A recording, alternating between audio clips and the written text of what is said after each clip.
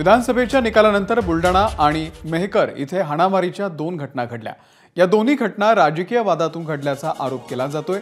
याच संदर्भात केंद्रीय राज्यमंत्री प्रतापराव जाधव यांनी कार्यकर्ते आणि नेत्यांना सल्ला दिलाय.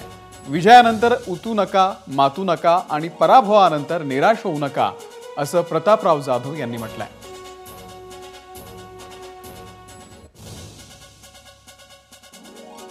एक जिंकले तर जास्त उतू नका मातू नका.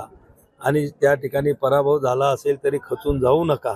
सगळ्यांनी त्या ठिकाणी ह्या सगळ्या गोष्टी खिलाडी वृत्तीनं त्या ठिकाणी पचवल्या पाहिजेत मानल्या पाहिजेत. मेहकरमध्ये जी काही काल अनुचित प्रकार घडला निश्चित तो मेहकर शहराला वैभवाला त्या ठिकाणी शोभणारा नाही.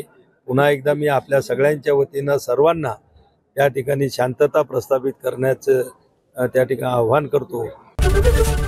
एबीपी माझा. उघडा डोळे बघा नीट.